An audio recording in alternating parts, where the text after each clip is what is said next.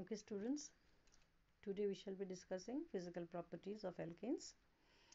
Uh, these properties I shall not be discussing for the remaining chapters because these properties follow a similar trend in all the chapters. So you can see here alkanes are almost non-polar. Why they are non-polar? Because they are compounds of carbon and hydrogen. And the carbon carbon bond as you can understand it is the form bond formed between same atoms similar atoms. So there is no difference in electronegativity. So they are non-polar. And the carbon hydrogen bonds the difference in electronegativity between carbon and hydrogen is so very less that there is no charge separation. And therefore the alkanes are non-polar in nature. They possess weak van der Waals forces. And due to this carbon 1 to carbon 4 that is methane to butane they are gases because the force of attraction with which the molecules are held are very poor or very weak. Carbon 5 to carbon 17 their intermolecular forces are little more stronger and they are liquids. And beyond carbon 18 they are all solids.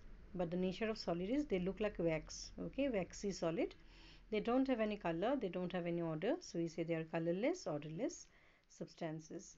This trend you will find in almost all the functional groups. First few members are usually gases. As the molar mass increases they slowly turn to a liquid and finally they become solid. Uh, there are some functional groups where the very first member is a liquid because the force of attraction between the molecules are very strong. We shall be discussing this later then we move to a very important uh, physical property that is boiling point. You see, if you look at this table, you can see, as I told you, boiling point and uh, molar mass, they are directly proportional. More is the molar mass, more will be the boiling point. So let us have a look for methane. Methane, molar mass 16, boiling point 111. Ethane, molar mass increased 30, boiling point also increased 184.4 Kelvin. Propane 44, the molar mass increased further so boiling point also increased further. So they usually follow a regular trend that boiling points are more is the molar mass more is the boiling point. But you see if the compounds are isomeric that means they have same molecular formula. If they have same molecular formula they have same molar mass also. You can check here 72 72 72 these three molecules you can see these three molecules. They have same molar mass C5H12 so they are isomers. So if they have same molar mass should they have same boiling point? Please have a look here. You can see there is difference in boiling point. First one 309 second one 300.9 third one is 282.5 now why is it so? To understand this let us go to this uh, next page you can see here if the compounds are isomers molar mass will be same but boiling point is different because boiling point depends on area of contact between the molecules in liquid state. More is the area of contact higher is the boiling point. For straight chain molecules area of contact is large so boiling point is higher as branching increases, boiling point decreases. We tried to understand with the help of an example. You see here I have uh, just tried to draw if it is a linear molecule that is straight chain the molecules will come very close to each other and the area of contact will be large so the force of attraction between the molecules will be very large so if you want to convert them to gas boiling point means the temperature at which a liquid changes to a gas so the boiling point will be high because you have to overcome the force of attraction among them. But if there is already a branch, one or two branches, you can see the molecules cannot come very close to each other. So the area of contact becomes quite less. You can have a look here. The area of contact is less. As a result, the boiling points are less. Here it is linear. The molecules are very close to each other. So boiling point is high. Let us try to understand.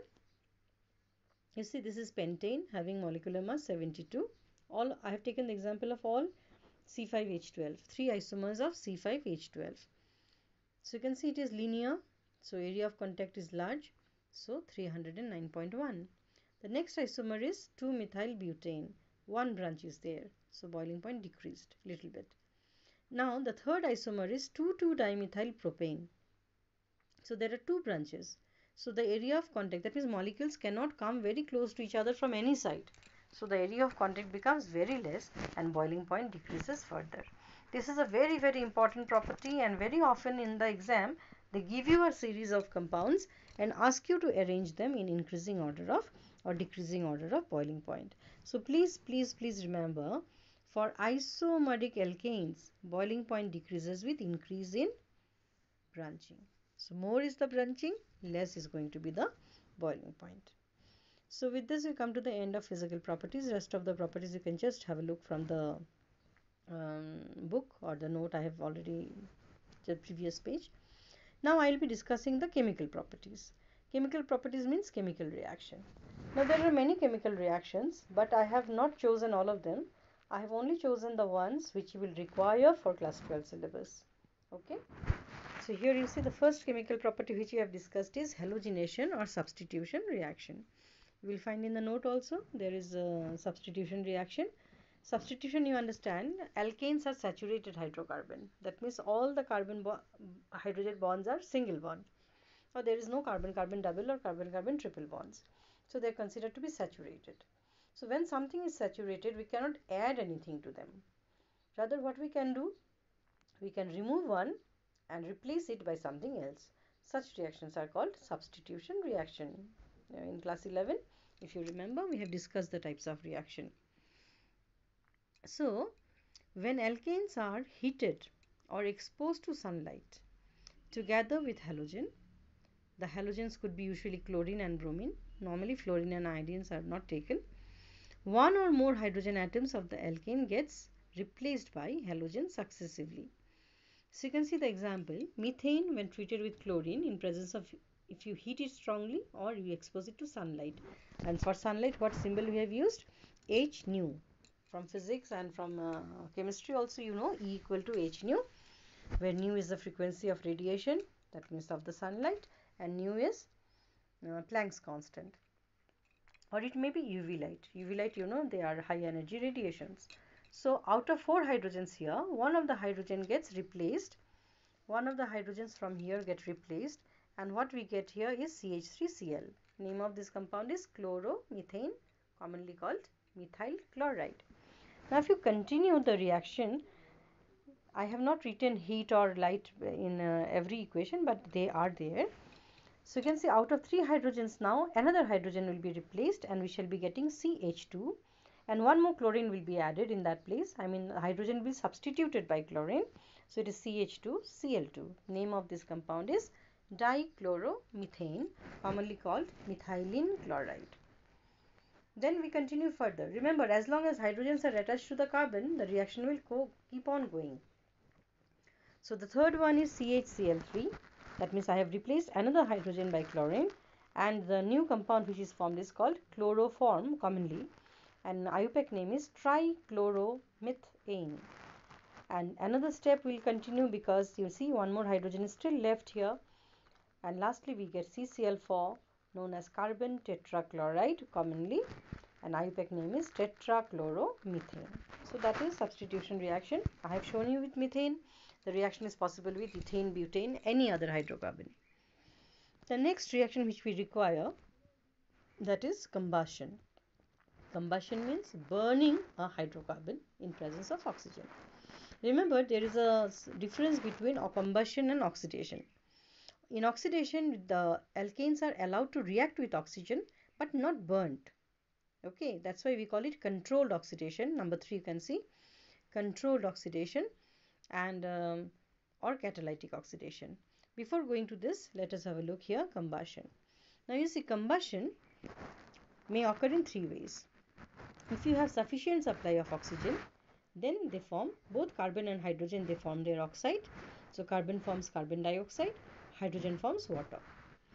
But if you have little less supply of oxygen, limited supply of oxygen, then carbon cannot form dioxide because you understand to form dioxide, one carbon requires two oxygens.